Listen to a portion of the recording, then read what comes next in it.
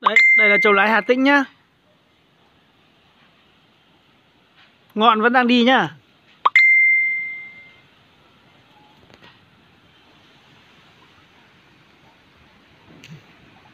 Lâm mầm gốc. Lâm mầm gốc rất khỏe. Mầm gốc đang mở lá rồi, dễ bám rồi. Đấy, dễ đây.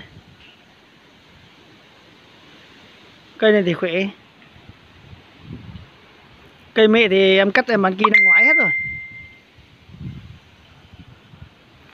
Nô kỳ sâu đây, nô kỳ sâu còn lại đây.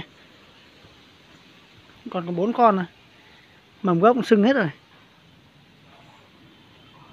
Này, toàn size ờ, 20 này mầm gốc cũng sưng nú to rồi. Còn ờ, hai con này nữa. Đấy. Hà Tĩnh nhá đấy Hà Tĩnh hiện tại là còn có bốn con thôi mầm gốc cũng nú hết rồi. Con này được ba mầm gốc hai mầm gốc của thân uh, to chính với cả một uh, mầm gốc của thân con bị hoàng kỳ HO thì cũng có mấy cái. Đấy HO HO mầm gốc lên đẹp này.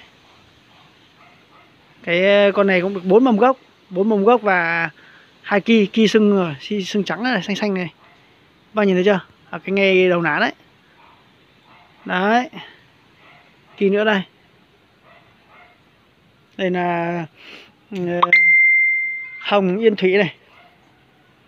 Hồng yên thủy nhá. Mầm gốc sưng to đùng được không? Đấy các bạn nhìn thấy chưa? Còn các hàng bắn nai thôn ngọc thì nhà em rất là nhiều. Trắng hà đông băng linh ám cổ vân giang. Rất là nhiều. Phú thọ đây phú thọ này phú thọ này thì ờ, có một mầm gốc to này, khỏe đang là dễ này. Và lâm ki lâm ki, một nụ hoa đầu ngọn, đấy. Con này thì hai mầm gốc này, hai mầm gốc 7 ki và còn rất là nhiều lá chưa chưa khai thác, chưa chưa trích choắc cái gì đây kỳ toàn sưng to như này rồi. Đấy.